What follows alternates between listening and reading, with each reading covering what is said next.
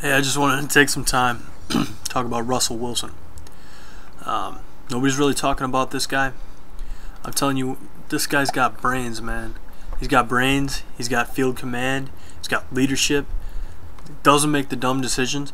And the only real knock in this guy is the fact that he's 5'10. Yes, that's a big deal. Yes. But all those other qualities, where do you find those? Where are you going to find those with anybody else?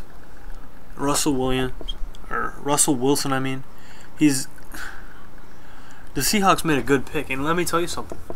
I just hope that they don't rush him into things. I hope they give him a little bit of time, sit back, be a backup.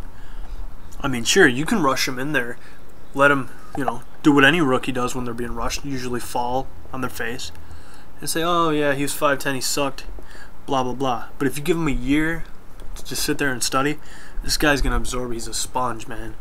He's got so much talent. Look what he did. Best Badger quarterback I've ever seen, in my opinion. So, um, 12th pick in the third round, yeah, worth every penny. Um, I, I can't wait to watch him play. You know, and just listening to him talk, this this guy's got brains, man. And I think people, the fact that he went in the third round shows that you know they do believe in all the things that I'm saying.